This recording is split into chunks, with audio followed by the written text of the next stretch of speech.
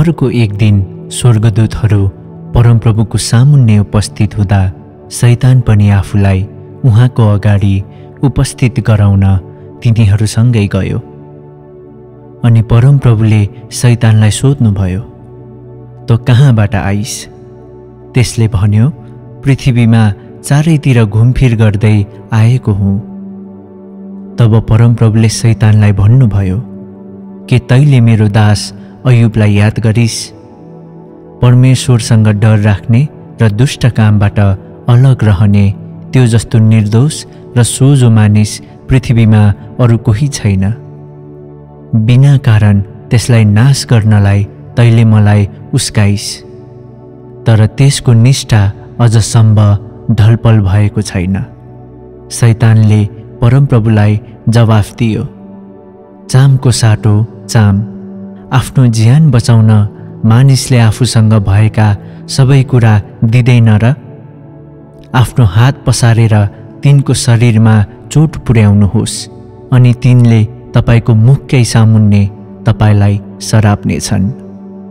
तब परमप्रभुले शैतानलाई भन्नुभयो लौ त त्यसो भए त्यो तेरो हातमा छ तर त्यसको ज्यान चाहिँ छोडिदे। तब शैतान परमप्रभुको सामुन्नेबाट निस्क्यो।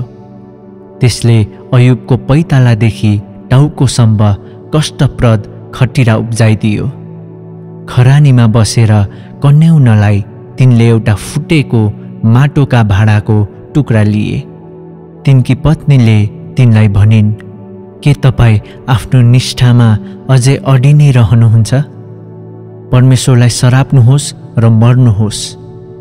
अयुबले जवाफ दिए तिमी एक मूर्ख आइमाई जस्तै कुरा गर्दछौ परमेश्वरबाट हामीले सुख चाहिँ ग्रहण गर्ने र दुःख ग्रहण नगर्ने? यी सबै कुरामा आफूले बोलेको कुरामा अयुबले पाप गरेनन्। अयुबका तिनजना मित्र एलिपच तेमानी बिलदत सुही र सोपर नमातीले तिनीमाथि आइपरेका यी विपत्तिका कुरा सुनेपछि सहानुभूति प्रकट गर्न र तिनलाई ढाडस दिन आफ्ना आफ्ना घरबाट सँगै मिलेर आए। तिनीहरूले तिनलाई टाढैबाट देखे तर चिन्न सकेनन्। तिनीहरू चिच्चाएर रोए अनि आफ्ना लुगा च्यातेर आफ्ना शिरमा धुलो छरे।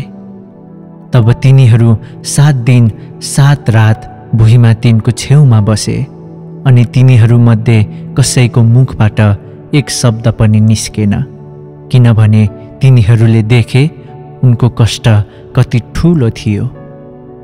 आमेन।